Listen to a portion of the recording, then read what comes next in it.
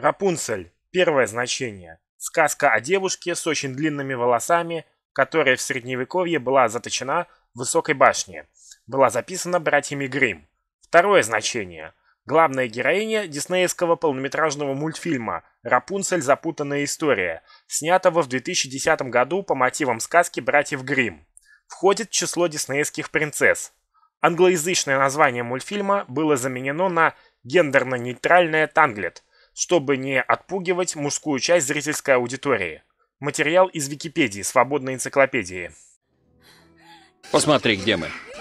Мы на месте. Кто у нас крепкий парень? Ну, кто у нас крепкий парень? Я крепкий парень. Ты у нас крепкий парень. Не бейся головой. А теперь давай расслабься, хорошо? Ларри, у нее был ребенок, мужик. У нее был ребенок. Я ничем не могу тебе помочь. Я ведь ранен. Тяжело ранен, Ларри. И без врачебной помощи я умру. Рана нехорошая, да.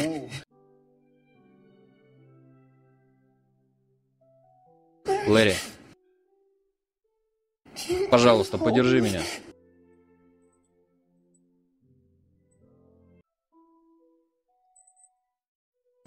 Да, конечно. Тебе можно бояться. Храбрости сегодня уже показал. Все будет хорошо. Раны в колено и в живот самые болезненные. Но сразу от них не умирают. Да уж, блин. На это требуются дни. Послушай, Ларри. Благослови тебя Господь за то, что ты пытаешься сделать. Слушай меня.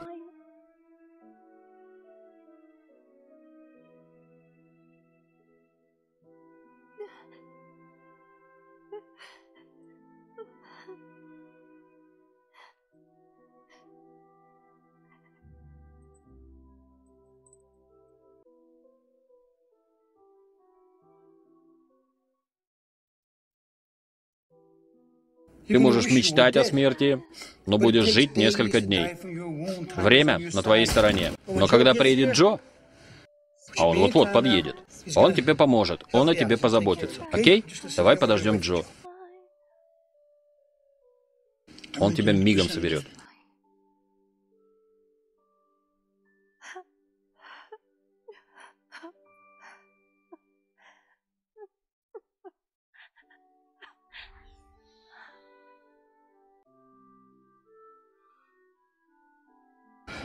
Я окей. Понял? Я немного запаниковал. Но сейчас я собрался. Так точно!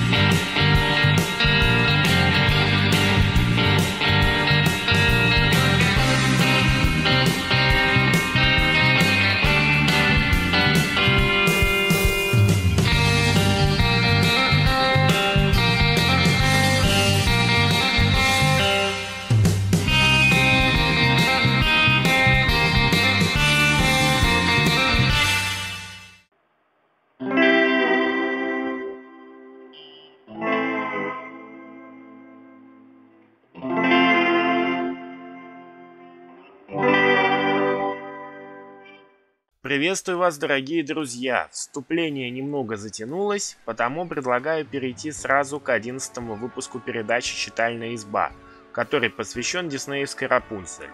И прежде чем перейти непосредственно к литературе по запутанной истории, предлагаю немного поговорить об оригинальной сказке. Итак, оригинальная версия Рапунцель вышла 20 декабря 1812 года в составе первого издания сказок братьев Якоба и Вильгельма Грим. Ее краткое содержание звучало так. Муж с женой жили возле сада колдуньи по имени Готель. Там рос Рапунцель. Беременная жена сильно хотела салат из него. Тогда муж стал лазить через забор и рвать Рапунцель. Но однажды колдунья застала его. Муж просил о пощаде, ведьма согласилась, только если ей отдадут ребенка. Он согласился. Родилась девочка. Колдунья назвала ее Рапунцель. Когда девочке исполнилось 12 лет, мачеха поместила ее в высокую лесную башню. Колдунья приходила через окно по длинным волосам девочки. Однажды, услышав ее пение, проезжающий мимо башни принц влюбился в Рапунцель.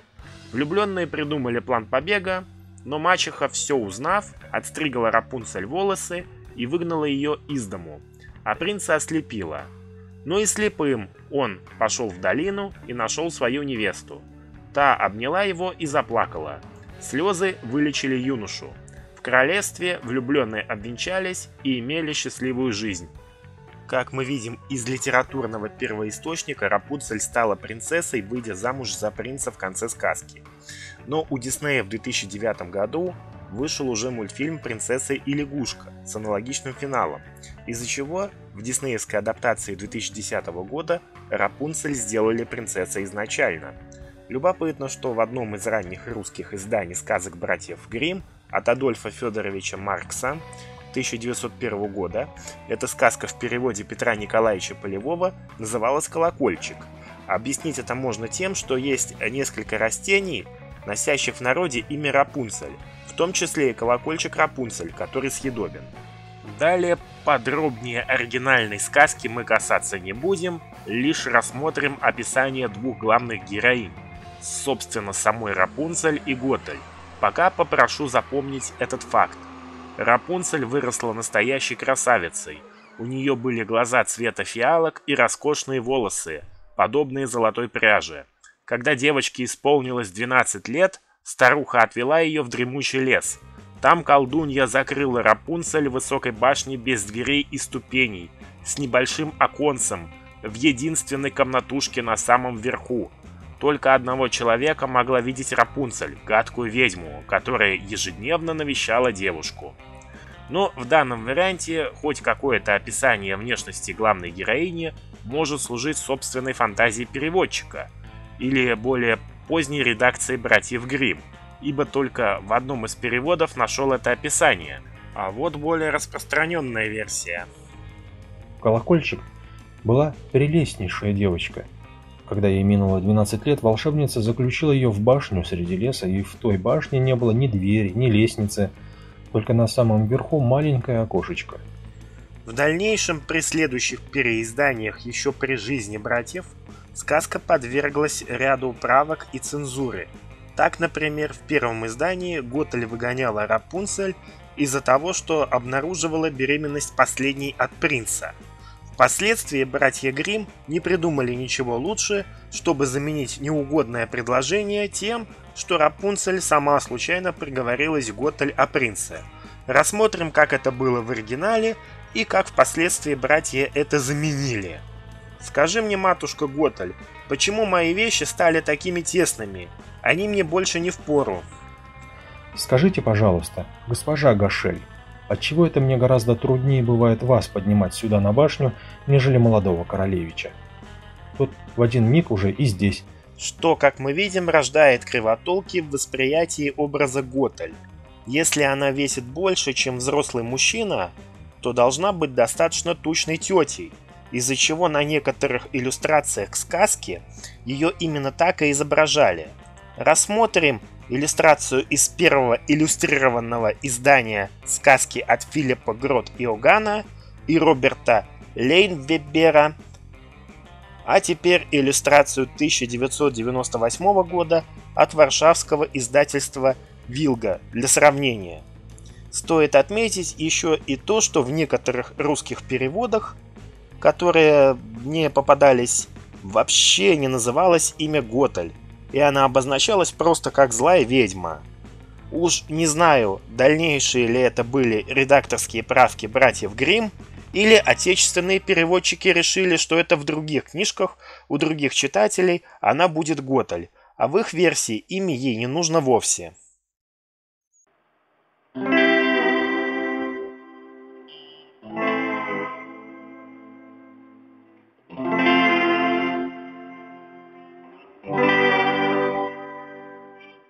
Итак, 24 ноября 2010 года состоялась премьера юбилейного 50-го полнометражного мультфильма студии Диснея под названием «Танглет», что в российском прокате окрестили как «Рапунцель. Запутанная история». Но далеко не все знают, что более чем за два месяца до премьеры на прилавке книжных магазинов 14 сентября 2010 года поступила новелизация этого мультфильма от писательницы Ирен Тримбл под названием «Танглет Junior Новелл». Книга дважды переиздавалась на территории России. В первый раз от издательства «Игмонт Россия» в 2010 году в переводе Натальи Вергилис под названием «Рапунцель. Запутанная история». Давайте рассмотрим аннотацию на обложке этого издания – Обаятельный вор и разбойник Флинн Райдер, за которым охотится вся королевская стража, решает укрыться в неприступной башне в чаще леса, где он случайно знакомится с принцессой Рапунцель. Если вы думаете, что самое интересное в ней это 21 метр волшебных золотистых волос, то вы заблуждаетесь. Запертая в башне и отчаянно ищущая приключений Рапунцель решает использовать Флина в качестве билета в большой мир. Приглашаем вас отправиться в захватывающее путешествие вместе с главными героями нового анимационного фильма Дисней «Рапунцель. Запутанная история». Книга иллюстрирована самыми эффектными кадрами из фильма. Любопытный факт. Имя автора указано не было, только переводчика. В 2020 году состоялось переиздание этой книги от издательства «Эксмо», уже под названием «Принцесса Рапунцель». В этом издании указали имя автора, а перевод был от Тамары Денисовой. Рассмотрим же аннотацию с обложки от второго издания. У Рапунцель есть мечта. Она провела всю свою жизнь в башне вместе с матушкой Готель. И теперь, на свой 18-й день рождения, она хочет выйти из башни, чтобы узнать, что за огни загораются в небе каждый год – в день ее рождения. Но матушка Готель категорически против, и Рапунцель решается на отчаянный шаг отправиться на поиски огней в компании первого встречного и первого встреченного в жизни юноши Флина Райдера. И оба они, и Флин, и Рапунцель, еще не знают, как много сюрпризов их ждет в этом путешествии захватывающие приключения, любимые герои, потрясающая история. Все это ждет вас на страницах новой книги для чтения по мотивам мультфильма «Рапунцель Дисней». К сожалению, что-то новое или не вошедшее в одноименный мультфильм студии имени Диснея из этой новелизации мы почти не узнаем. А очень часто в новелизациях есть альтернативные или не вошедшие финальную версию сцены – и если посмотреть первый трейлер Рапунцель «Запутанная история», то можно заметить несколько таких сцен, которые отсутствуют в самом мультфильме. И в этой новелизации их тоже нет. Что бросается в глаза, пролог и эпилог не ведутся от лица Флина Райдера. Отсутствуют почти все песни, кроме «Живет мечта». В лучших традициях фильма Квентина Тарантино «Бешеные псы» мы не увидим то, как Флинрайдер украл корону принцессы королевства Корона. Нам покажут только последствия. Не знаю, с чем это было связано. То ли с упрощением сюжета с поправкой на возраст, а книга рекомендовалась детям до 6 лет, то ли со своеобразной цензурой. А может быть, изначально эта сцена и не планировалась в сценарии, и была добавлена уже потом. Ибо, как мы знаем, чаще всего новелизации пишутся по окончательному варианту сценария, что совершенно не означает последующую его переписку в процессе съемок. Однако тут прямо говорится, что матушка Готель все же по-своему любила Рапунцель. Попрошу пока запомните это. Но счастье короля и королевы было недолгим. Тоже ночью, когда все в королевстве уже спали, мстительная матушка Готель пробралась в детскую комнату дворца и подошла к колыбели принцессы. Она уже протянула руку к ребенку, как вдруг остановилась. Милые золотые кудряшки-малютки очаровали ее. Завороженная ими, матушка Готель стала мягко поглаживать девочку по волосам, а затем начала тихонько напевать. И точно так же, как она много раз пела цветку, и вдруг волосы девочки засияли. Матушка Готель поначалу удивленно, а затем торжествующе смотрела, как разглаживается и молодеет морщинистая кожа на ее руке. исцеляющая сила золотистого цветка продолжала жить в золотистых волосах маленькой принцессы. Матушка Готтель отрезала небольшую прядь и стала разглядывать ее, держа в руке. Она заберет волшебный локон с собой, и он всегда будет при ней. Однако этому не суждено было случиться. На глазах матушки Готтель светлые волосы в ее руке стали темно-коричневого цвета. Она взглянула на место, где был срезан локон. Там торчала короткая коричневая прядь. Матушка Готель пришла в ярость. Она поняла, что магия работает только тогда, когда она поет и поглаживает волосы принцессы. Без этого волосы бесполезны. Значит, был только один выход. Ей придется выкрасть девочку и до скончания времен скрывать ее от всего остального мира. Матушка Готель обожала Рапунцель, и девочка тоже очень любила ее. Как-никак она была единственным человеком, которого принцесса знала и помнила. Матушка Готель кормила и купала малышку. Она видела, как Рапунцель делает свои первые шаги. И она каждый день пела девочке колыбельные, пока гладила и расчесывала ее волосы. Рапунцель совсем не знала истинной любви своих настоящих родителей. А также, что за три книги, которые, сидя в башне, Рапунцель перечитывала. Не то в самом мультфильме их показали мельком. А еще Рапунцель обожала читать. У нее было целых три книжки, и каждую она давным-давно выучила наизусть, от корки до корки. Книга по кулинарии помогала ей готовить вкусные блюда – Вторая книга была по геологии, а третья посвящалась ботанике. Последняя книга стала у девушки самой любимой. Наряду с великолепными рисунками книга давала Рапунцель необходимые сведения о растениях и цветах, характерных для местности вне башни. Тем не менее, с поправкой на целевую аудиторию, это вполне себе добротная книга, хорошо и талантливо написанная – которую я могу рекомендовать всем без исключения поклонникам оригинального мультфильма или вашим детям. К сожалению, какой-то информации об Эрен Тримбл, кроме библиографии и того, что она проживает в городе Такома, США, штат Вашингтон, мне не удалось найти даже в западных интернетах. Однако не я один столкнулся с подобной проблемой. Среди ее работ, как автора-новелизатора, есть Балли, Храброе сердцем, Вольт, Принцесса и лягушка, Университет монстров, Ральф, Тачки 2, Пираты Карибского моря, Проклятие черной жемчужины, Пираты Карибского моря, Сундук мертвеца и много чего еще. Про Рапунцель Тримбл написала как минимум два небольших рассказа в составе сборников про диснеевских принцесс за ее авторством со своими оригинальными сюжетами Snow Princess 2012 года и Winter Fun for Everyone 2015. А от себя хочу добавить фразу, которой я вдохновился благодаря Станиславу Зелинскому.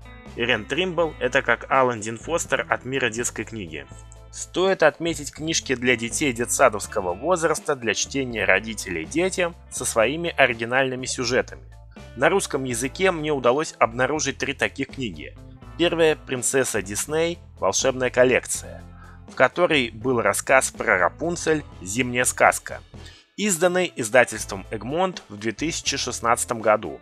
Кто автор этого произведения, а самое главное, как этот рассказ назывался в оригинале, очень хороший вопрос, ибо по своей старой доброй традиции издательство Egmont не указали имя автора, а еще в довесок не написали оригинальное английское название всего произведения – если кто из вас знает, дорогие друзья, откуда был взят этот рассказ, кто его автор и как он назывался в оригинале, то, пожалуйста, напишите в комментариях. Действие же самого рассказа происходит после событий оригинального мультфильма «Рапунцель. Запутанная история». В Королевстве Корона приближается празднование Рождества, и все жители готовятся отмечать этот праздник, кроме Рапунцель. Она убеждена, что Рождество отмечают как в мультфильме Тима Бертона «Кошмар перед Рождеством», со всеми вытекающими последствиями, ибо так ей с детских лет внушала матушка Готаль. Флинн Райдер. Да, в этом рассказе у нас именно Флинн, а не Юджин Фитцерберт, как зовут его на самом деле. Решает показать Рапунцель истинный смысл Рождества. Достаточно милая история, но слишком детская. Задумывает черные дела, на небе ухмыляется луна. Второй такой рассказ из мною найденных опять же издавался издательством «Игмонт» и выходил уже в 2019 году в составе сборника «Принцесса Дисней. Нескучные истории». А назывался он «Пропавшая корона», и написала его Ребекка Л. Шмидт. Откуда я это узнал, объясню уже в процессе разбора третьего рассказа. А пока поговорим о сюжете. События опять же происходят после оригинального мультфильма. Флина Райдера, да, тут он опять Флин, арестовывают королевские гвардейцы за то, что он якобы вновь украл корону принцессы. Рапунцель понимает, что что-то в этой истории нечисто, и Райдера, скорее всего, подставили. Вместе с разбойниками из таверны «Сладкий утенок» она пытается расследовать этот инцидент. Собственно, все, что я могу сказать по поводу этого рассказа. А на сладкое я оставил третий рассказ, который называется «Самый сладкий день». Издавался он в этот раз издательством «Лев», уже как отдельная книжка из серии «Сказки малышки» в 2019 году. Самое что интересное, Лев по аналогии издательства Egmont не написал имя автора, зато оригинальное английское название самого рассказа. Собственно, почему мне и удалось установить имя автора – Британи Кандау. И вот занимательный факт, что предыдущий рассказ «Пропавшая корона», что этот самый сладкий день входили в состав сборника Disney Princess Storybook Collection – выпущенного 29 сентября 2015 года в США. Там было по два рассказа на каждую диснеевскую принцессу на тот момент. Не знаю, переиздавались ли они потом раздельно или в других странах их издавали по частям, но в России они вышли именно в таком виде. События самого рассказа «Самый сладкий день» происходят еще во время оригинального мультфильма. Рапунцель и Райдер, что-то во всех рассказах он Флинн, а не Юджин, приходят на городской рынок Короны, где помогают пекарше испечь кексы из яблочного пюре. При этом Флинн покупает все ингредиенты, что очень мило и на чем акцентируется внимание. Да, похожая сцена была и в самом мультфильме, где он на рынке купил флажок для Рапунцель с эмблемой королевства короны. Именно купил, а не украл. Но в этом рассказе аналогичная сцена особенно подчеркнута. По моему скромному мнению, самый интересный рассказ из всех трех мною найденных. Возможно, опять же подчеркиваю, что возможно, самый сладкий день – это эпизод, не попавший в итоговый мультфильм. Точно сказать не могу, тем более, что на официальном DVD издании мультфильма, кроме двух альтернативных вариантов пролога, нету больше никаких материалов по удаленным сценам. И это обидно, ибо в других диснеевских мультфильмах всегда куча дополнительных материалов. И в завершении темы литературы по запутанной истории хотелось сказать пару слов о комикс-адаптации этого мультфильма. Выпускало его издательство Dark Horses Comics, а написал его Алессандро Феррари, о котором мы еще сегодня поговорим. В России его выпустило издательство «Черный кот», и что странно, издание не содержит вообще никакой информации о тираже, копирайтах и прочих вещах. Собственно, каких-то глобальных отличий от оригинального мультфильма комикс себе не несет, кроме того, что у Готель были карие глаза, а не серые. Вот, собственно, и все, что мне удалось обнаружить по Рапунцель «Запутанная история» на русском языке. На этом моменте мы закончим с оригинальным мультфильмом и перейдем к мультсериалу. Я служу всего 8 месяцев. Мне ничего не говорят. Можешь меня пытать. Пытать? Это хорошая, хорошая мысль.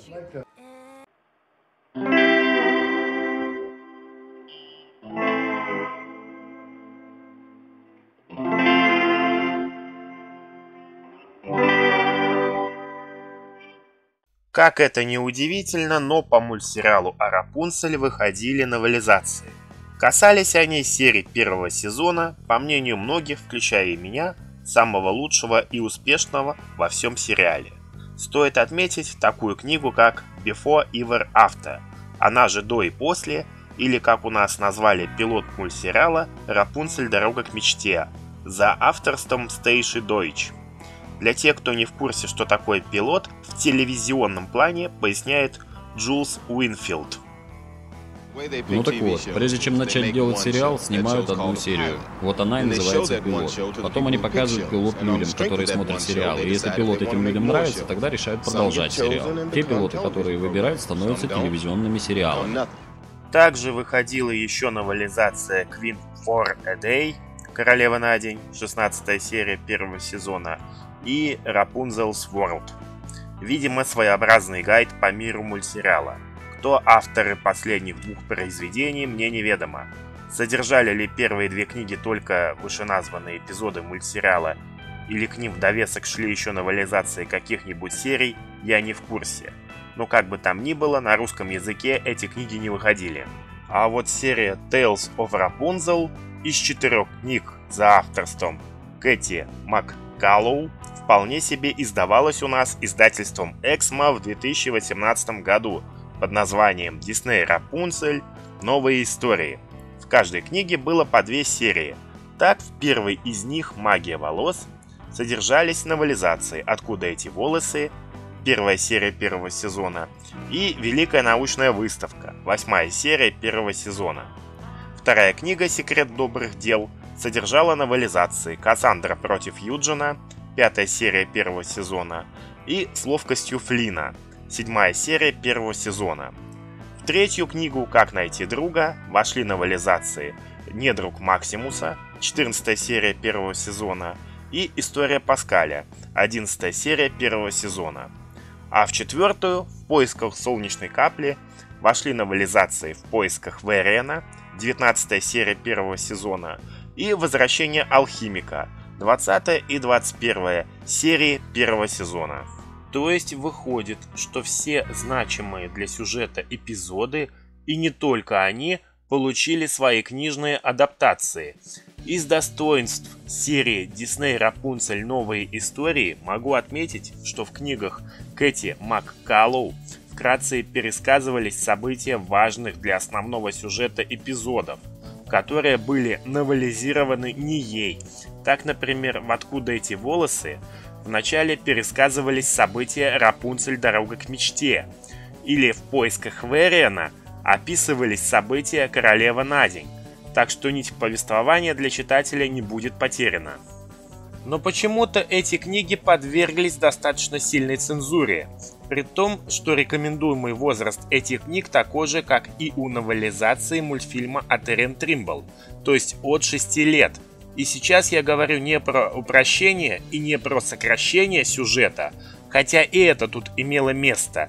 Особенно в этом вопросе пострадало произведение «Возвращение алхимика», где были вырезаны целые сюжетные куски, а про минимизацию насилия, хотя, казалось бы, в мультсериале его нет от слова совсем, и вымарывание любого религиозного упоминания. Приведу два конкретных примера. Так, в оригинальной серии «Откуда эти волосы» Кассандра говорит следующее. Но если кто-нибудь узнает, какую роль сыграла я во всей этой заварухе, помогла тебе покинуть замок, меня отправят в монастырь, ты понимаешь, в монастырь? А вот как эта сцена описана в книге у Маккалоу. Все равно нельзя говорить об этом, настаивала Кассандра. Если твой отец узнает, что я помогла тебе сбежать из замка, он выгонит меня из своего королевства. И это не один случай. Так, во сне коня Максимуса в произведении «Недруг Максимуса» из книги «Как найти друга» вместо священника упоминается министр, и такого в этих книгах много. А вот по поводу цензуры насилия могу привести такой пример. Все, наверное, помнят, что в оригинальной серии «Возвращение алхимика» Рапунцель и Вериан вместе со своими питомцами Хамелеоном Паскалем и енотом Рудигером исследуют катакомбы под Королевским замком, что является прямой отсылкой к оригинальной трилогии похождений бравого археолога Индиана Джонса – так вот, в этой серии был такой эпизод, когда Рапунцель и Верин случайно активируют ловушку, и на них начинают сдвигаться стены, что является своеобразной отсылкой на художественный фильм Стивена Спилберга по сюжету Джорджа Лукаса «Индиана Джонс и Храм Судьбы» 1984 года выпуска. И по аналогии с оригинальным фильмом, Рапунцель находит чью-то кость, не исключено что человеческую, и просит своего ручного хамелеона Паскаля заткнуть ею механизм ловушки – и, собственно, как этот же эпизод описан у Маккаллоу. Ловушка сработала. Рапунцель и Верин изо всех сил принялись толкать движущиеся стены, надеясь остановить их. Но все безрезультатно. «Нас же сейчас расплющат!» – закричал Верин. Лихорадочно озираясь в поисках какого-нибудь выхода, Рапунцель заметила маленькое отверстие в потолке. В том углу, где движущаяся стена смыкалась неожиданно возникшей. «Ты сможешь туда пролезть?» – спросила она Паскаля, указывая на отверстие. «Если тебе удастся отыскать механизм, который двигает эти стены, может быть, ты сумеешь его отключить». Ей ужасно не хотелось подвергать своего маленького друга опасности, но если он не справится, они все погибнут. Паскаль, собравшись силами, устремился вверх по стене и скользнул в отверстие, за которым оказалась какая-то страшная лезгающая машина – с тремя рычагами. Подобравшись к ним по свисающему канату, Паскаль схватился за первый рычаг. «Сделай же что-нибудь!» – донесся до хамелеона отчаянный крик Вериана. Паскаль напряг все свои селенки и дернул за рычаг. Раздался звонкий щелчок, и шестеренки закрутились с удвоенной скоростью. «Нет, что-то другое!» – снова завопил Верин. Стены гигантской ловушки продолжали съезжаться, и вскоре зажатые между ними Рапунцель, Верин и Рудигер уже не могли пошевелиться. Когда они решили, что их уже вот-вот раздавит лепешку, стены вдруг остановились. Шестеренки лязгнули и завертелись в обратную сторону. Стены медленно разъехались. «Молодец! Ты справился!» Радостно крикнула Рапунцель Паскалю. Верин с белым как мел лицом резко согнулся. «Лучше отойди в сторону!» – выдохнул он. «Кажется, меня сейчас тошнит!» Однако стоит отметить, что данные книги при всех своих сокращениях, упрощениях и цензуре написаны достаточно профессионально.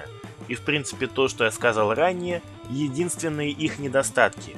Но боюсь, даже поклонникам мультсериала они не расскажут ничего нового – так что целесообразность их прочтения, как и приобретения, достаточно сомнительная, на мой взгляд. Тем не менее, если у вас есть дети, которые любят данный мультсериал и вас беспокоит насилие или религиозная пропаганда в детских книжках, то книжная серия Disney Рапунцель Новые истории от Кэти Маккалу однозначно ваш выбор. Самой интересной книгой из этих четырех я считаю «Магию волос». Вот как автор описывает Верена. Он оказался совсем не похож на колдунов, о которых Рапунцель читала в книгах. Испуганно сглотнув, она собралась с мужеством и улыбнулась ему своей самой дружелюбной улыбкой. «Простите, что потревожила вас, господин колдун», — сказала она.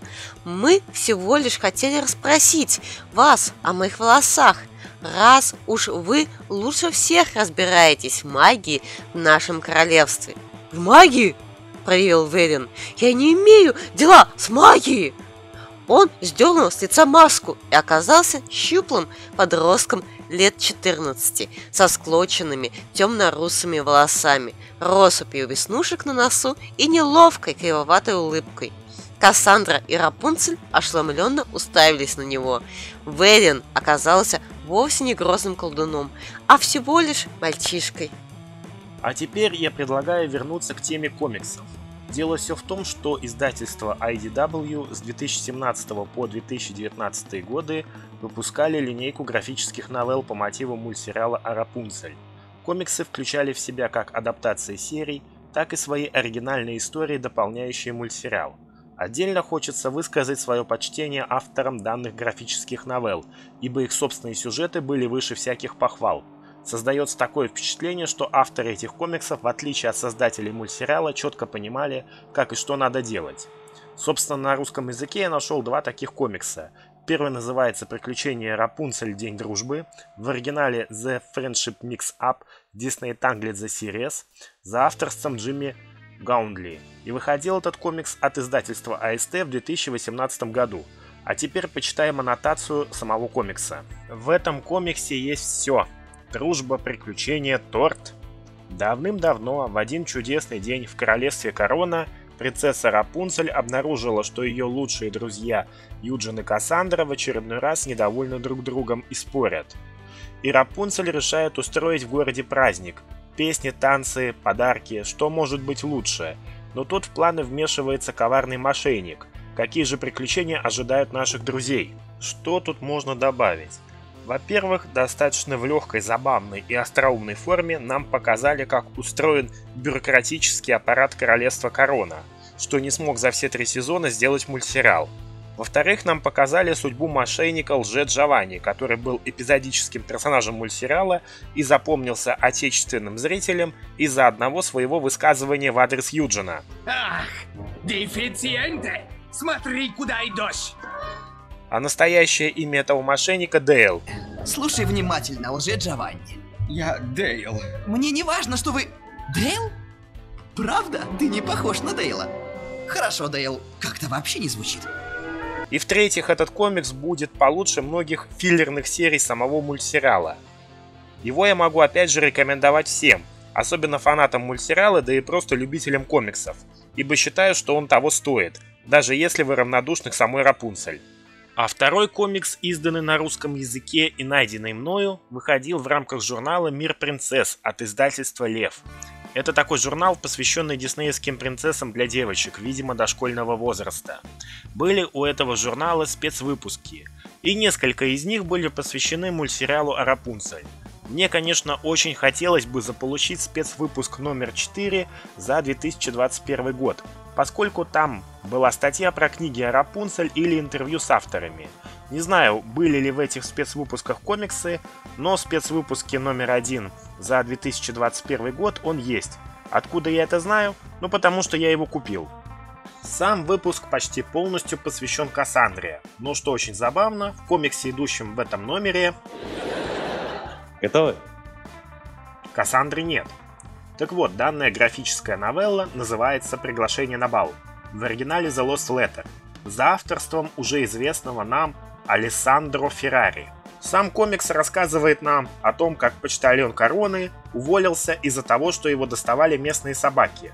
Рапунцель не придумывает ничего лучше, чем самой устроиться работать почтальоном, объясняя это своему отцу королю Фредерику тем, что таким способом она лучше познакомится с жителями своего королевства – а надо признаться, что королевство действительно очень маленькое. Также Рапунцель обожают все местные собаки, что становится для короля решающим доводом. Но в качестве почтальона Рапунцель работает в лучших традициях Почты России.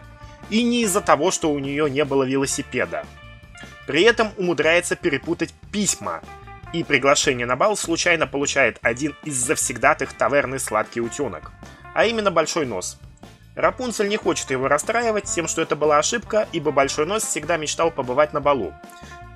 И вместе с Юджином учит его хорошим манерам. Достаточно забавная и милая история, опять же получше многих серий мультсериала. Интересно, если бы Квентин Тарантино экранизировал этот эпизод, позвал бы он на роль почтальона Кевина Костнера. О, Хуго, какой карьерный взлет. Ты смотри, оберштурмфюрер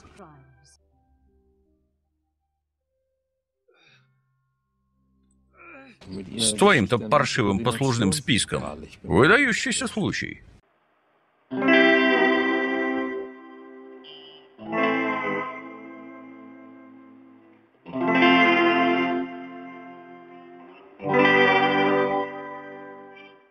Существуют книги со своим сюжетом по мотивам диснеевской Рапунцель. Так, например, в этом году вышла книга-приквел про юность Флина Райдера, он же Юджин Фитцерберт под названием Lost Legend The Rise of Flynn Rider. Перевести название ее можно как «Утраченные легенды. Восхождение Флина Райдера». А автор всего произведения Джен Колонита. Вторая книга, опять же вышедшая в этом году по Рапунцель, представляет собой альтернативный сюжет мультфильма. Называется она What Once Was Mine – A Twisted Tale Hardcover, что можно перевести с учетом издания книг этой серии в России как «Что так желанно мне. Другая история Рапунцель». А написала ее Лиз Брасвелл. Аннотация выглядит у всего произведения так. Что если мать Рапунцель выпила зелье не из того цветка? Отчаявшись спасти жизнь своей королевы и ее будущего ребенка, подданные короны ищут исцеляющий цветок, чтобы вылечить ее. Но вместо этого по ошибке находят мерцающий цветок с лунной силой. Тем не менее, он исцеляет королеву, и она рождает здоровую девочку серебристыми, как луна, волосами, получая при этом опасные магические силы, способность причинять боль, а не исцелять. Ради ее безопасности и безопасности королевства Рапунцель заперта в башне и отдана под опеку могущественной матушке Готель. 18 лет Рапунцель остается заперти, зная, что она должна защищать других от своих волшебных волос. Но когда она покидает единственный дом, желая увидеть фонарики, которые появляются только в день ее рождения, она встречается с двумя ворами – мошенником в бегах Флином Райдером и девушкой по имени Джина, с которыми отправляется в путешествие по всей короне. Прежде чем она может достичь своего счастья, Рапунцель узнает, что в ее истории и ее волшебных волосах скрыто нечто большее, чем она думала. Издадут ли эти книги на русском языке, будем на это надеяться. А у меня по этому поводу явно прибавятся работы. Нужно будет снять второй тематический выпуск про диснеевскую Рапунцель в рамках проекта «Читальная изба». Но, как вы видели из названия данной части, посвящена она будет совсем другой книге. И это произведение издавалось на русском языке, да, я говорю про книгу от Сирены Валентина под названием Mother Know Best – A Tale of the Old Witch, или как у нас адаптировали название «Матушка Готель. История старой ведьмы». Сие произведение входит в книжный цикл, выходящий еще с 2009 года под названием «Виллианс», посвященный диснеевским злодеям, которые у нас адаптировали как «Злодеи Дисней. Нерассказанные истории», Автором всех произведений этого цикла является Валентина. На Западе книга вышла 7 августа 2018 года, а на русском языке была издана в 2021 году издательством «Эксмо» в переводе Марины Мещеряковой. Стоит сразу оговориться, что данное произведение не только игнорирует события мультсериала «Рапунцель. Новая история», но и показывает альтернативное развитие событий самого мультфильма «Рапунцель. Запутанная история», поясняя для тех, кто не понял. Тут показано совсем другое развитие событий – а не взгляд на ситуацию с точки зрения матушки Готель. И у книги достаточно взрослый возрастной рейтинг – от 12 лет. Что ж, поскольку эта книга со своим оригинальным сюжетом, вкратце расскажу его завязку. Все начинается с того, что молодая ведьма Готель уединенно и изолированно живет со своей матерью Манни и двумя сестрами Хейзел и Примроуз в чаще заколдованного мертвого леса, прямо напротив кладбища, а это значит, что у них всегда есть свежие цветы и что-нибудь к чаю. Манни по своей профессии работает королевой мертвых и может повелевать целой армией скелетов с того самого кладбища, а также содержит небольшую оранжерею, в которой выращивает рапунцели. Однажды жители близлежащей деревни отказались хранить своих покойников на кладбище в мертвом лесу, тем самым пополняя новыми рекрутами армию тьмы Манни и нарушая древние соглашения с ведьмами леса. Королеве мертвых не нравится такой расклад, и она посылает своих мертвецов с карательными действиями в деревню, несмотря на протесты своих дочерей. Потом Манни пытается заставить Готаль, Хейзел и Примроуз участвовать в ритуальных жертвоприношениях детей из этой деревни, которых скелеты привели в мертвый лес. Позже, на обряде инициации, когда сестры должны были смешать свою кровь с кровью своей матери для овладевания черной магией, из-за отказа Примроуз Манни пытается убить ее и Хейзер, Годель ступается за сестер и сжигает оранжерею вместе со своей матерью. Перед своей смертью королева мертвых просит Готель спасти хотя бы один Рапунцель. Как позже выясняется, убийство дочерьми собственных матерей у них в семье своеобразная традиция. Та же Манни в свое время убила собственную мать. Готаль получает возможность командовать армией покойников и становится новой королевой мертвых продолжая жить в мертвом лесу вместе со своими сестрами. Пока однажды к ним в гости не заглядывают три злых сестры – Люсинда, Руби и Марта. Они просят у Готель разрешения ознакомиться с библиотекой ее покойной матери Манни, взамен обещая научить Готель всему, что знают сами. Но во время пребывания злых сестер в мертвом лесу резко заболевают и впоследствии умирают Хейзел и Примроуз – Готель находит в бумагах своей матери текст заклинания, которое надо петь волшебному цветку, спасенному ей из горящей оранжереи, чтобы излечить своих сестер. Текст этот был такой. «Солнце яркий луч, путь найди во мгле. Я прошу верни, что так желанно мне. Рано исцели, жизни свет пролей. Я прошу верни, что так желанно мне, желанно мне». Однако, несмотря на все свои старания, Готель не удается воскресить своих сестер, разве что на несколько секунд вернуть их к жизни. Далее по сюжету проходит достаточно много времени, может несколько лет, а то даже и столетий. В этой книге временные рамки очень размытые. Тем более время в мертвом лесу, а особенно в компании с толстяком, летит незаметно. Весь этот период Готель сохраняла свою молодость и долголетие только благодаря волшебному цветку – Однажды в мертвый лес вторгаются королевские гвардейцы королевства Корона в поисках волшебного цветка, и Готель срочно приходится все бросить и, забрав тела своих сестер, переехать в другое место. Поселившись, видимо, где-то в окрестностях королевства Корона, в отдельном доме, где ей помогают обжиться злые сестры.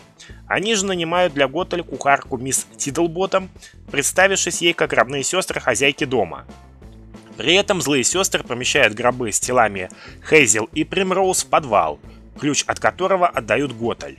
Тем не менее, позже Готель начинает небезосновательно подозревать злых сестер в махинациях за своей спиной, что заканчивается крупной ссорой. Вскоре после этого события в дом приходят королевские гвардейцы и изымают цветок. Разумеется, Готель не может так просто этого оставить и отправляется в королевский замок, откуда возвращается через несколько недель с ребенком на руках. Мисс Тидлботом сразу понимает, что она принесла к ним домой новорожденную принцессу. На все вопросы и возражения кухарки Готель заявляет, что могла вообще совершить совершенно ужасные вещи с королевством и королевской семьей за то, что они забрали ее цветок и уничтожили ее дом в мертвом лесу. Мисс Тидлботом становится соучастницей по преступлению Готель и нанимает кормилицу для Рапунцель, некую мисс Пикл – Кормилица-кухарка сказала, что девочка незаконно рожденная племянница Готель. Восемь лет спустя, во время празднования дня рождения Рапунцель, Готель и злые сестры, с которыми она уже успела помириться, пытаются совершить при помощи юной принцессы ритуал воскрешения Хейзел и Примроуз в подвале. Эту сцену случайно увидели мисс Тидлботом и миссис Пикл. Сейчас вы услышите фрагмент из книги, что последовало за этим. Посмотри, что ты наделала. Ну и дура же ты. Ты все испортила. Что ты сделала с Рапунцель? Завопила миссис Тидлботом. Люсинда махнула рукой в сторону женщины, отчего та отлетела назад и врезалась в полку, заваленную книгами и стеклянными бутылочками, которые посыпались на бедную миссис Ти, потерявшую сознание. Готель заслонила женщину собой. «Нет, Люсинда, не надо! Не делай ей больно!» Люсинда бросила на Готель странный взгляд. «Почему нет, сестра? Она разрушила наши чары. Она заслуживает смерти!» «Я хочу, чтобы она жила. Она мне нужна», — заявила девушка, глядя на молодое лицо миссис Тидлботом, уже не испорчено глубокими морщинами. «А что насчет этой?» — спросила Люсинда, указывая на миссис Пикл, которая сидела и плакала, обхватив колени. «О, ее ты можешь убить!» – махнула рукой Готель.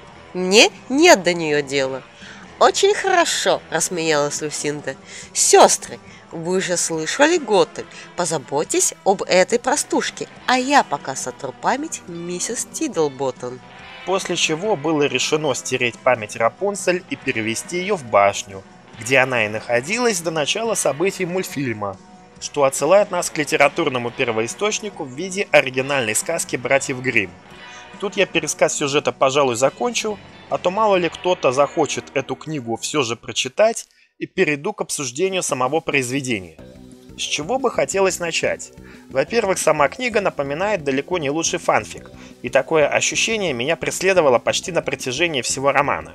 В новелизациях от Эрен Тримбл и Кэти Маккаллоу такой проблемы я не наблюдал, Хотя и понимаю, что данное сравнение не совсем корректно, ибо у Валентина книга со своим сюжетом.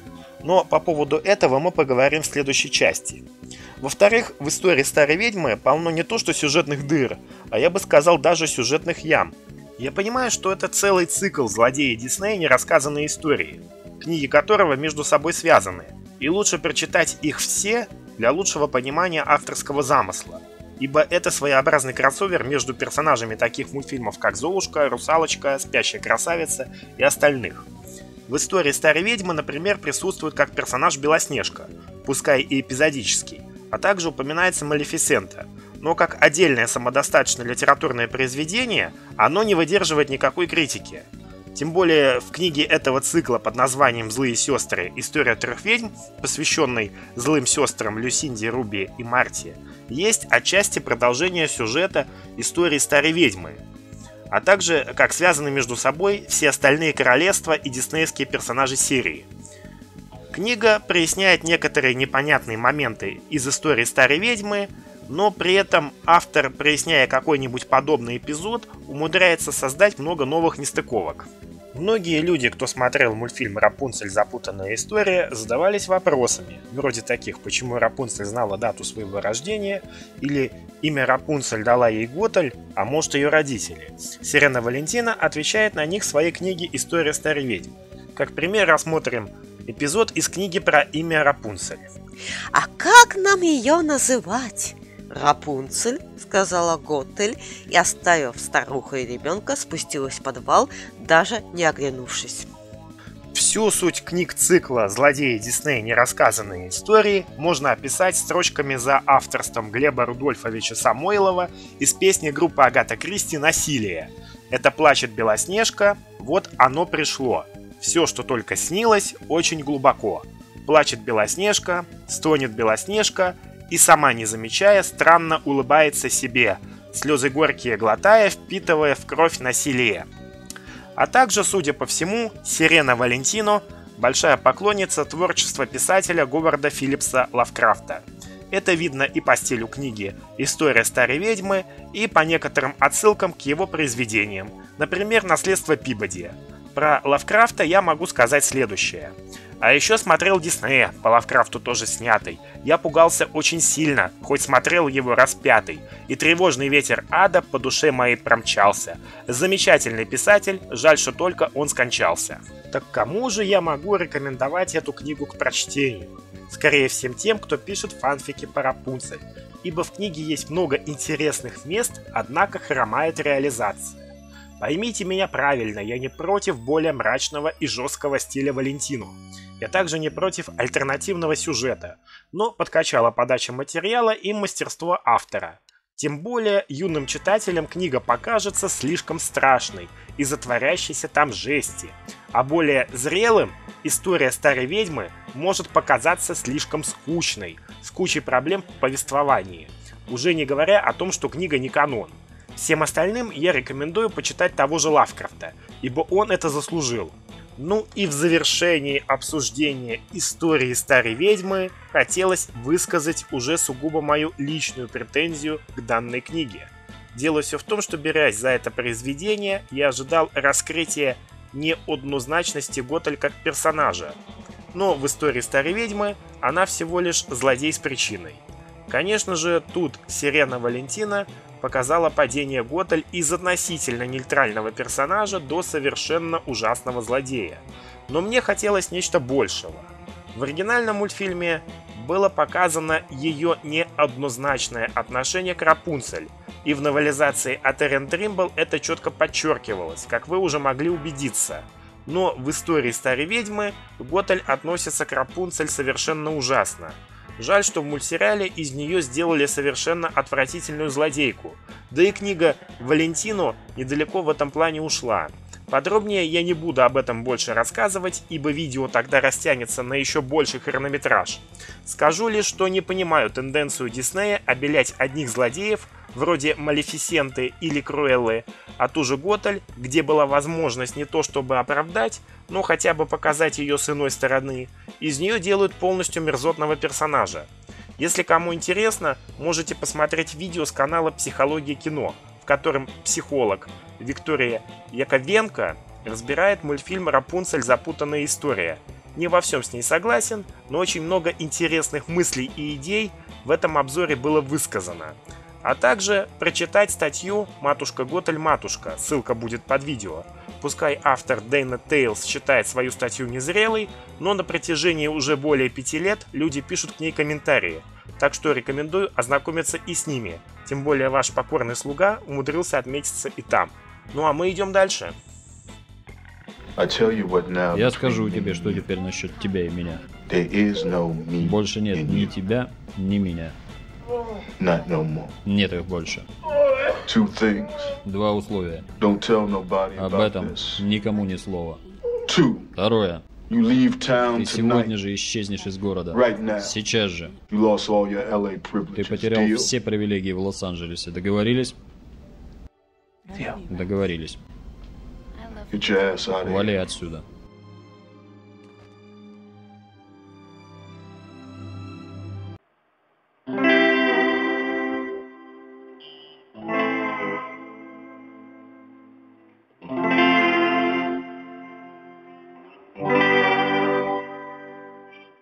Казалось бы, мы прошлись по всем основным книгам, изданным на русском языке. Однако было два произведения по мотивам мультсериала, автором которых была Лейла Хоуленд. У нас в стране они не издавались, но про них обязательно стоит упомянуть. Первая книга называлась «Рапунзел and the Lost Lagoon», что можно перевести как «Рапунцель и затерянная лагуна». Вышла она 5 сентября 2017 года – Данное произведение является прямым продолжением оригинального мультфильма «Рапунцель. Запутанная история» и представляет из себя связующее звено между мультфильмом и мультсериалом «Рапунцель. Новая история». Сама книга показывает первые полгода жизни Рапунцель в качестве принцессы королевства Корона, а также рассказывает историю ее знакомства с Кассандрой. Вторая книга называлась «Rapunzel and the Vanishing Village», что можно перевести как «Рапунцель и исчезающая деревня». Само произведение является в своем роде уникальной книгой, чуть ли не единственной по мотивам второго сезона мультсериала. Вышла она 5 июня 2018 года. Сие произведение рассказывает, как Рапунцель и ее друзья во время своего путешествия за пределы королевства Корона по следам из черных камней останавливаются в деревне Хармони Глен, родину романов о Флине Райдере. Что примечательно, у обоих книг рейтинг от 8 лет. Про «Затерянную лагуну» хочется поговорить отдельно, ибо есть ее неофициальный перевод на русский язык от Амалии Мун и Доры Хан. Что интересно, повествование в этой книге ведется от лица главной героини. Нечетные главы за Рапунцель, а четные за Кассандру. Поскольку неофициальный перевод временно заморожен, а переводчицы перевели около две трети книги, мы подробно рассмотрим, что есть. Сюжет у «Затерянной лагуны» такой. Рапунцель начинает жить в королевском замке, и ее отец, король Фредерик, очень боится, что его дочь могут опять похитить, и из-за этого представляет к ней усиленную охрану, следующую за принцессой по пятам. Однако Рапунцель испытывает дефицит общения – ибо Юджин обживается в королевском замке и не может постоянно уделять ей много времени, а остальная прислуга как-то сторонится принцессу и предпочитает сугубо деловые отношения с ней. А еще королева Арианна все твердит Рапунцель, что ей нужно найти себе фрейлину. И вот однажды, видимо 2 августа, в жаркий летний день, принцесса предложила своим телохранителям-гвардейцам освежиться в садовом фонтане – тем временем Рапунцель залезла на дерево, чтобы порисовать, и увидела Кассандру, тренирующуюся во дворе. Когда девушка увидела, что Рапунцель ее заметила, Кассандра убежала. При этом сама она в тот момент была такого мнения о Рапунцель. Так и было. С тех пор, как принцесса вернулась, все силы были сосредоточены на каждом движении Рапунцель, даже если она просто ела кексы и загадывала желания на одуванчиках. Неужели король считает, что соседние народы, Антипы или Дионты, еще хуже, не заметят, что охрана наших границ ненадежна, что наша армия переброшена на защиту сладкоежки неравнодушной к известным сорнякам? Если было время атаковать корону, оно было сейчас. Неужели принцесса уже не маленькая девочка, несмотря на то, как все с ней себя вели? Действительно, так наивно. Разве она не понимает опасности, которой подвергает королевство? Рапунцель узнает от королевы Арианны, что девушку, которую она видела в саду, зовут Кассандра, и она дочь капитана Королевской гвардии. После разговора с Рапунцель, королева и капитан решают сделать Кассандру фрейлиной принцессы, не спросив саму Кассандру, хочет ли она этого, и, разумеется, она очень этому не рада. Сама Кассандра хочет вступить в Королевскую гвардию, но ее отец под разными предлогами препятствует этому. А тем временем Юджин приводит Рапунцель в Королевскую библиотеку.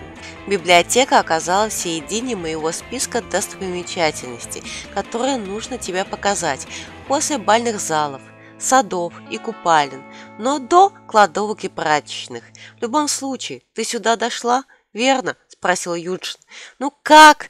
Я еще немного вырос в твоих глазах. Да, сказала я, прижимая руки к груди. На миллион. Я даже не знаю, с чего начать. Ты можешь отнести эти книги в свою комнату, если хочешь. Правда, спросила я, глядя на плотно заставленные полки вокруг. «Открою окно», — сказал Юджин. «Здесь немного душно. Мне очень нравится. Я была удивлена. Раньше я думала, что в мире существует всего три книги. Одна о кулинарии, одна о геологии, еще одна о ботанике. Я перечитывала их снова и снова, пока не выучил наизусть. Я была готова к большему, но не настолько.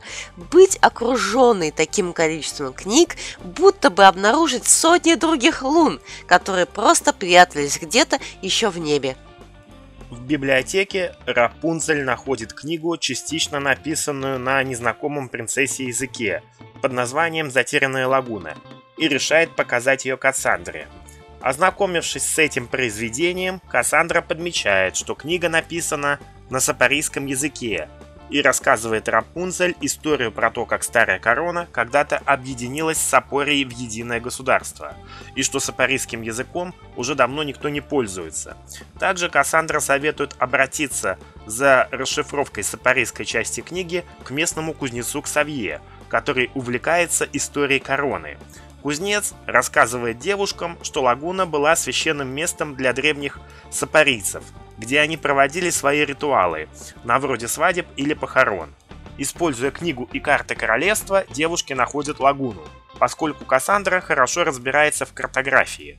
Но тут выясняется, что фрейлина принцессы не умеет плавать из-за психологической травмы детства, поскольку чуть не утонула в шестилетнем возрасте. Рапунцель учит Кассандру плавать. Позже девушки находят в воде драгоценные камни, а на стенах бухты обнаруживаются парийские письмена, которые собираются расшифровать. Эти события очень сближают Рапунцель и Кассандру, после чего между ними состоялся следующий диалог. Это место может быть ключом к вечной защите короны. Мы должны выяснить это до того, как это сделает кто-то другой. И я хочу научиться плавать. Это может стать моей новой тренировочной площадкой, если я собираюсь попасть в гвардию. Она побледнела. «Гвардию? Но ведь ты моя фрейлина!» — сказала я, внимательно наблюдая за ее лицом. Она позволила своему молчанию говорить за нее, пока я не сообразила. «Ох, ты не хочешь ею быть? Я рождена защищать это королевство!» Я узнала ее взгляд. «Тогда я помогу тебе», — сказала я, потому что знала, каково это, когда мечта горит внутри, как свеча в безлунную ночь.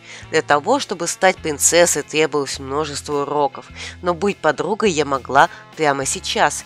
Я никому не скажу, Тебе нужно тренироваться. Я могу помочь. На самом деле есть один прием, который мне очень нужно выучить. Никто не мог его сделать уже сто лет. И если бы я смогла, мне было бы гарантировано место в Королевской гвардии. Что за прием? Спросила я. Он называется крылатый зверь. Для него нужны два человека, сказала Кассандра. Но это опасно. В смысле, по-настоящему жизненно опасно. «Я помогу тебе», — твердо сказала я. «Ты уверена?» — спросила она. «Определенно». «Хорошо», — сказала Кассандра. Она кивнула, улыбнувшись впервые с тех пор, как я увидел ее в поле издалека. «Но теперь я должна научить тебя, какой вилка есть вафли и все такое. Давай пойдем, Рапс». «Рапс», — повторила я. «Мне понравилось». Это было коротко и точно, прямо как моя новая прическа. Но лучше всего было то, что это придумала Кассандра. «Конечно, Кэс», — сказала я. И мы прощаемся с нашей лагуной на сегодня. Дальше вкратце пересказываются события Рапунцель «Дорога к мечте», но в этот раз от лица Рапунцель и Кассандры. А потом сюжет продолжается после серии «Откуда эти волосы?». Во второй половине книги девушкам придется раскрыть сапарийский заговор и проверить свою дружбу на прочность. Ведь Кассандра очень расстроена, что Рапунцель рассказала всю Юджину про то, как Фрейли наводила принцессу к черным камням, из-за чего у Рапунцель вновь отросли волосы. Собственно, что хочется сказать по поводу этой книги. Тут я вижу и самое главное верю, как Рапунцель и Кассандра подружились. Сожалению, как позже стал развиваться мультсериал, события Затерянной лагуны стали неканоничными. Тем не менее, какие-то идеи из этой книги создатели новой истории активно использовали. Например, в 14 серии второго сезона под названием «Рапунцель и Великое Древо» или 6 серии третьего сезона под названием «Начало».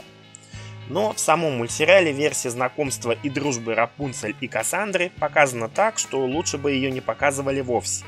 В книге я четко вижу, что девушки стали друг для друга как родные сестры. На вроде братьев Сета и Ричи Гека м-м, не самый удачный пример, тогда как Рик Далтон и Клифф Бут. Вот более удачная аналогия. А также из книги мы узнаем, как Рапунцель так хорошо научилась драться. Ведь она тренировалась вместе с Кассандрой. Тем более девушки создали собственный бойцовский клуб во всех смыслах. Разве что только мыло не варили.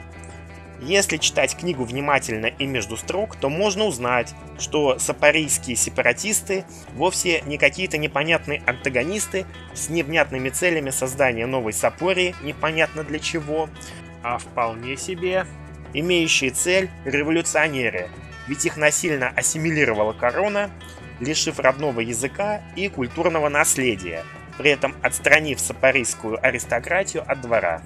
Очень не хочется говорить про недостатки всего произведения, но они все же есть. Например, книга местами напоминает фанфик. Подчеркиваю, что только местами.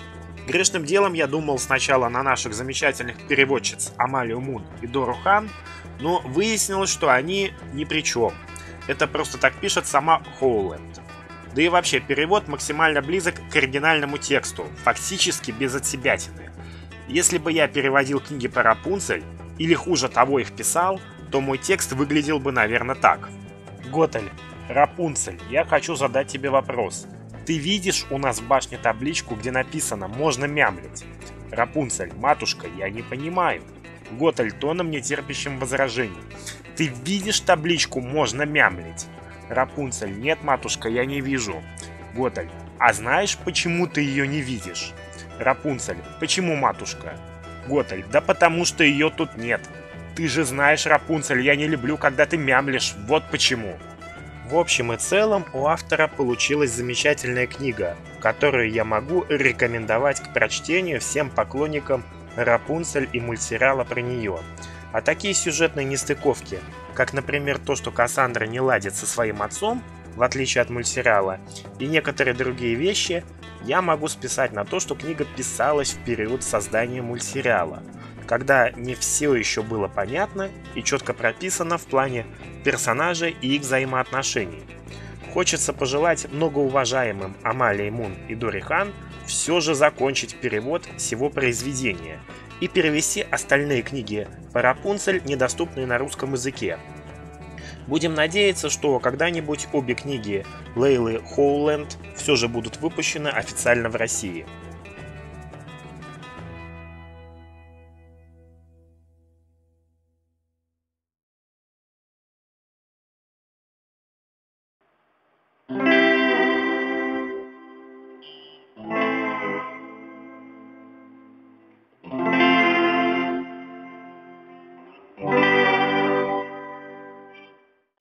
И, казалось бы, мы прошлись по всем основным произведениям, посвященным диснеевской Рапунцель.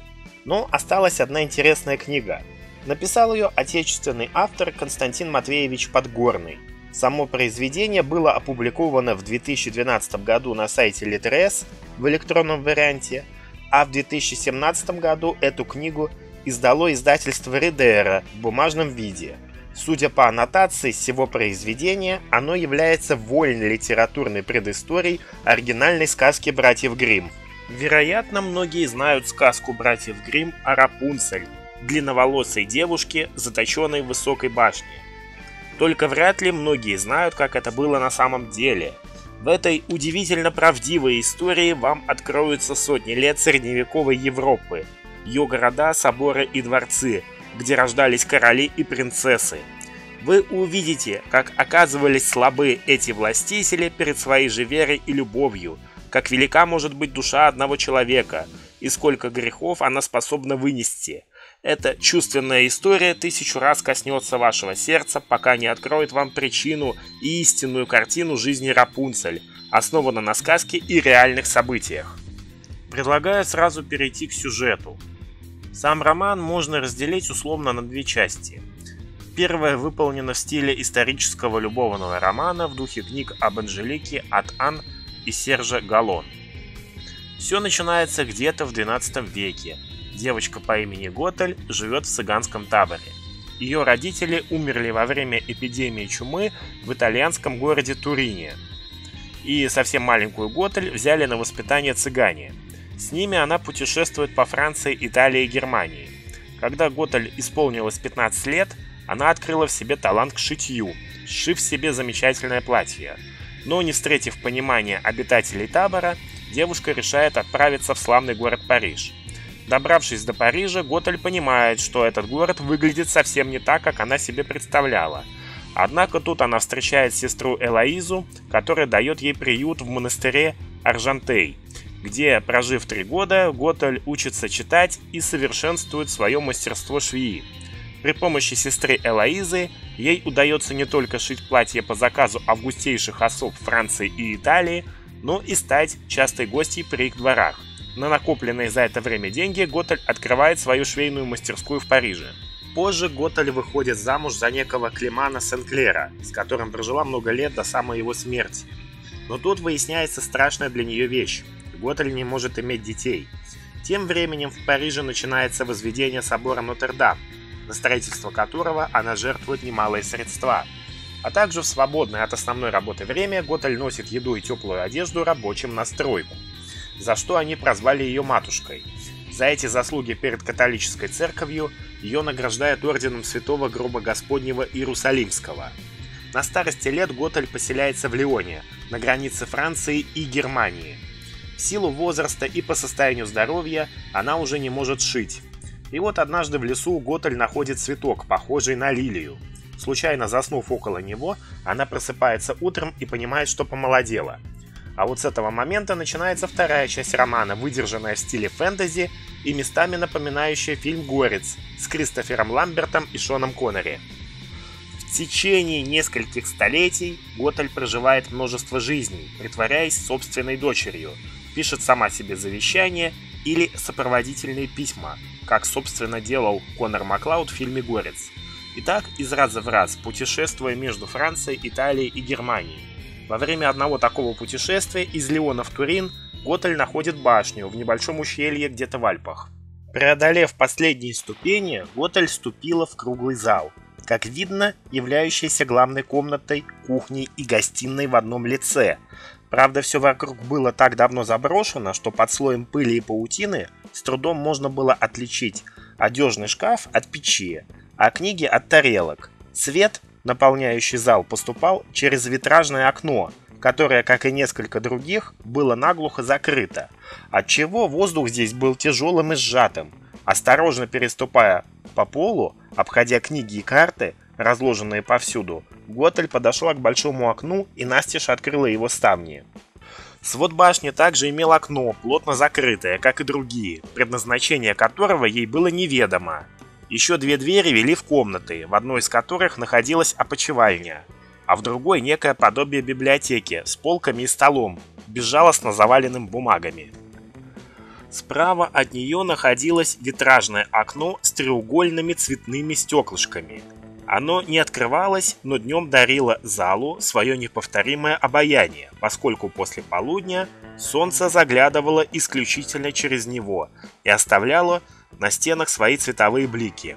Окно же, которое открывалось, находилось чуть дальше по стене и состояло из двух прочных створок. открытых с вечера и теперь пускающих солнечный свет на противоположную сторону, как раз туда, где была устроена кухня. За кухней же была дверь в библиотеку, а третья дверь в этот момент находилась по левую руку и открывалась на лестницу, ведущую вниз. Но то, что Готаль так и не может познать прелести материнства, ее очень гнетет, и в конце книги у нее появляется Рапунцель, которую Готаль растит как родную дочь. Дальше я не буду пересказывать сюжет книги, ибо считаю, что сие произведение стоит того, чтобы с ним ознакомиться. Упомяну лишь моменты касательно внешности Готали Рапунцель. Как вы помните, в самой первой части, посвященной оригинальной сказке братьев Гримм, я неспроста заострил на этом внимание. Давайте же посмотрим, как Константин Матвеевич Подгорный описывает ту же Готаль. Приблизившись к краю, она собрала на бок черные, как воронье крыло, волосы и опустила руку в бегущую воду. Но тут из-за своей повозки появилась Готаль в красном, как огонь, и тонком, струящемся по телу платье. В нем были и шитые складки, и декоративные вставки, и потайные швы, и каждая линия ее молодого стройного тела вдруг облеклась доселе невидимой грацией и женственностью. И ее светлая кожа, нежная и чистая, и черные брови, надчеркнутые галочками над большими серыми глазами, которые она теперь опустила. Также Подгорный уделяет большое внимание к деталям. Например, из книги мы узнаем, откуда у Готель взяли золотые серьги, большое зеркало в башне или кинжал. А вот как у Подгорного описана Рапунцель. Малышка смотрела на нее большими удивленными зелеными глазами. Это была правда. Волосы девочки со временем становились все длиннее и краше. Их цвет был подобен солнечным лучам, а пряди легки и почти неосязаемые. Был лишь один предмет, который давал такие же ощущения, а именно цветок, подаривший Готель, это любопытное дитя. Интересно, у автора описаны и взаимоотношения Готель и Рапунцель. «Рапунцель!» – улыбнулась сама себе Готель и погладила девочку по волосам. «Я похожа на принцессу?» – спрашивала она. «Да, мой цветочек», – отвечала Готаль, вплетая ей волосы лиловую ленту. «Ты самая настоящая принцесса». «Иди спать, дорогая», – взглянув на девочку, перебила ее Готаль. «Да, мамочка», – ответила та, исчезла за дверями и появилась снова. «Прости меня, пожалуйста. Я правда очень люблю тебя». «Я знаю, я тоже тебя люблю, дитя», — ответила Готаль. Вот какое у сего романа предисловие. После 300 лет на бренной земле вполне можно отличить чудо от спасательно мерцающей свечи на краю леса. Да и что такое свеча по сравнению с океаном жизни, которым светились ее глаза? Я видела этот свет в каждом ее шаге и каждом движении, в каждом ее слове. Я даже чувствовала, как она растекается по моему телу. Я знала, что он изменит меня, сделает меня сильнее и увереннее в себе. Но я никогда не предполагала, что этот свет сделает меня лучше. Ничего не напоминает. Вот мне очень. Я Дункан Маклауд. Родился 400 лет назад в горах Шотландии. Я один из бессмертных. Веками мы ждали времени сбора, когда под ударами мечей падут головы и зальется животворная сила. В конце останется только один. Как мы с вами уже могли убедиться, автор заимствует много элементов из мультфильма «Рапунцель. Запутанная история». Но вместе с тем, это именно вдохновленное анимационным шедевром студии имени Диснея произведение. Да, у Подгорного Рапунцель тоже принцесса, родившаяся при помощи целительной силы волшебного цветка. Однако здешняя ее версия никакими магическими силами не обладает. Да и зовут ее совсем по-другому. А Рапунцель всего лишь прозвище, которое дала ей Готель. Действие романа происходит не в сказочном королевстве Корона, а вполне себе реальных средневековых Германии, Франции и Италии. Есть в этой книге куча реально существующих исторических персонажей, вроде Мориса де Сюли, или Марии Анжуйской. Да и концовка всего произведения абсолютно другая, нежели была в мультфильме. А волшебному цветку не надо петь никаких песен. Тут он работает немного по-другому. От себя лично хочу выразить благодарность автору, ибо в отличие от Сирены Валентина и ее истории старой ведьмы, Подгорный сумел показать неоднозначность Готель как персонажа. Как и любое произведение, «Матушка Готель» содержит ряд недоработок. Где-то автор перегнул, где-то не дожал, а где-то есть очень спорные места. Но, по моему скромному мнению, в романе таких мест мало. Ричард, что у тебя с головой? Мне надо объяснение. Со мной все нормально, брат.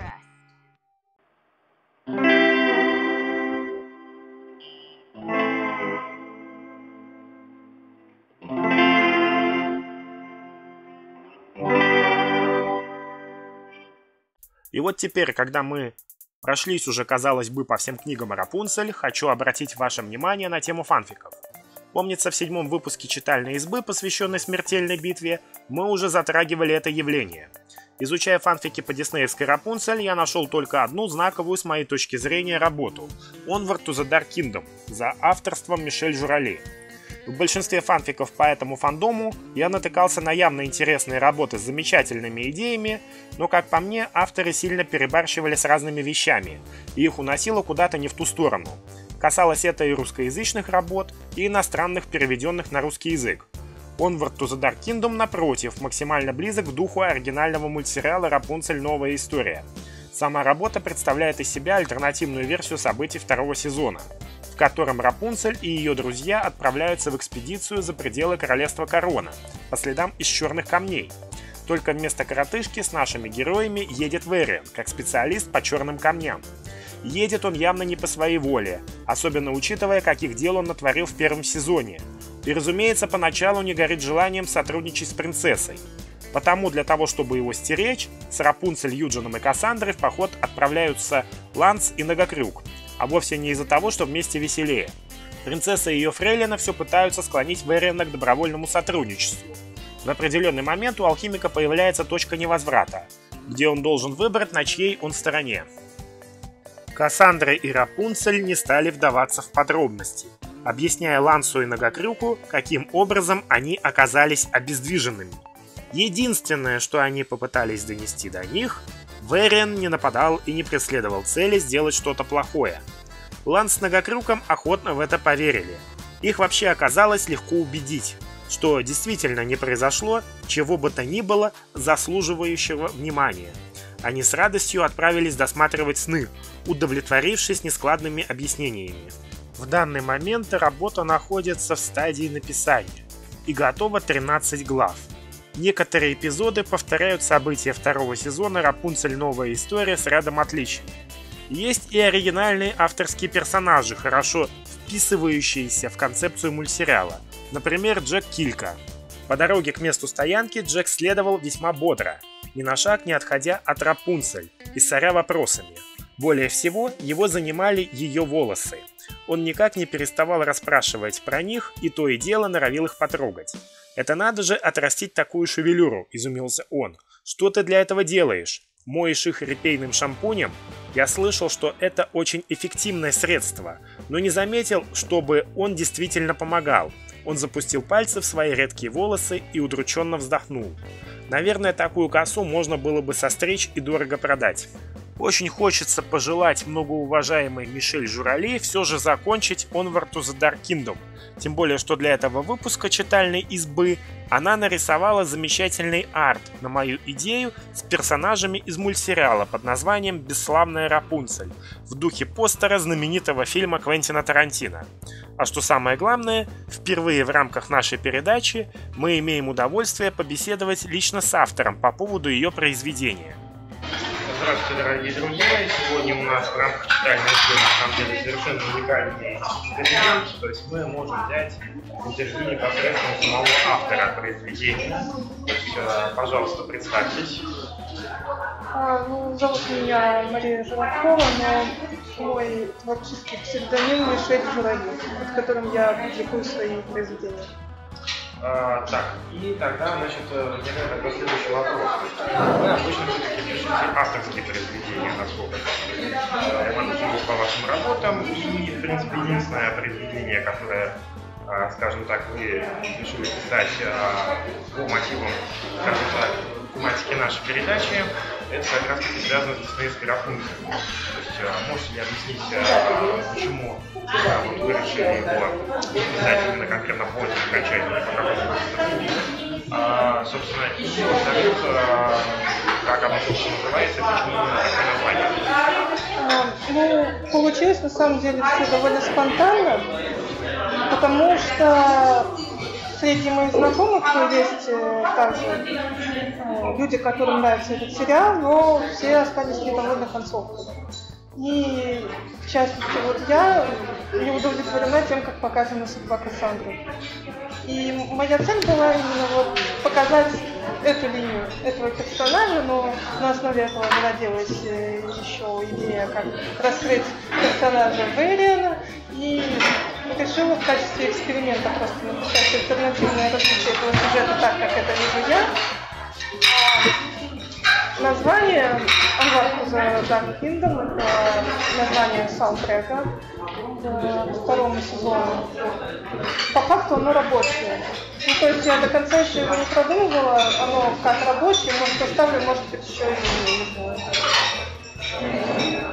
А такой возникает вопрос. Если сейчас, скажем так, ваше произведение посвящено альтернативным событиям второго сезона а, сериала, то планируете ли вы писать а, в дальнейшем, скажем так, альтернативу третьего сезона? Да, планирую, но она, скорее всего, будет совсем отделена уже от событий сериала.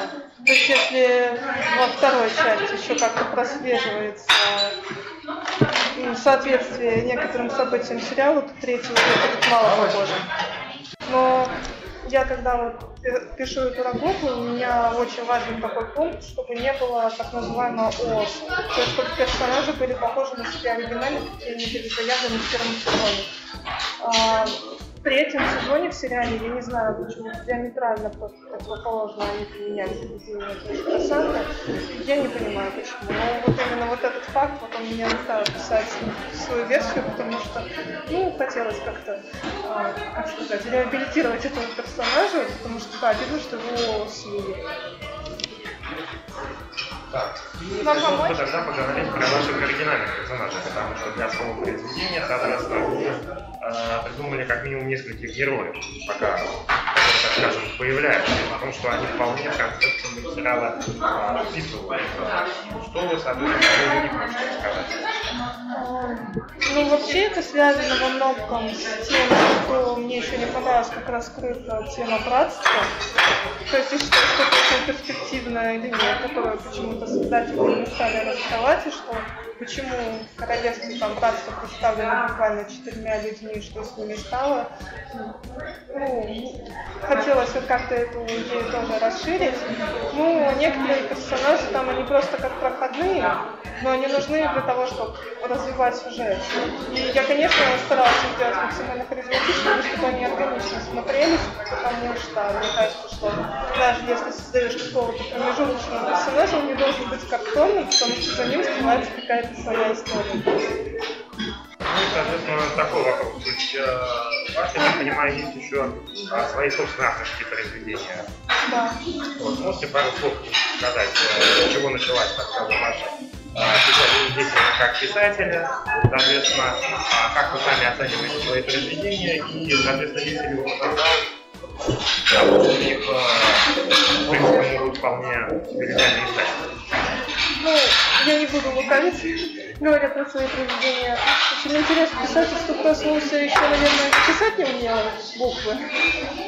А первое такое, ну, реально полноценное произведение написал в 13 лет, понятно, что оно было написано детским языком, но это была книга уже с началом, с концом, с продуманным сюжетом. И вот так вот в 13 лет это вот дошло.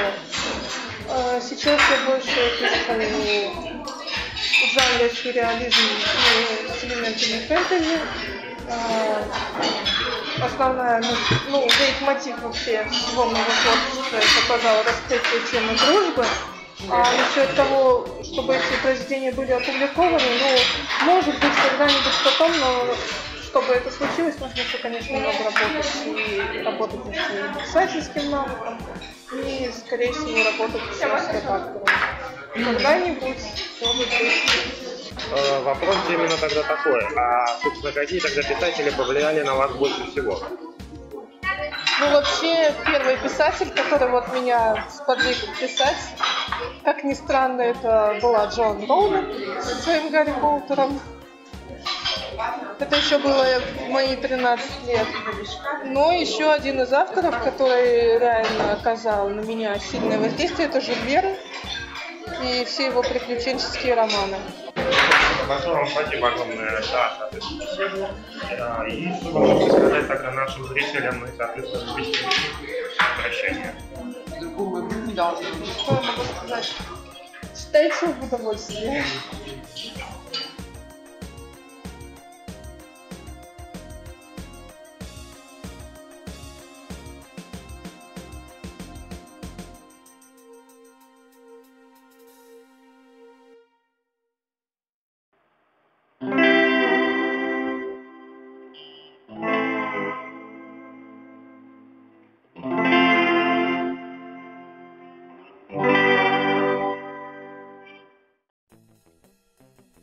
Что хочется сказать в заключении?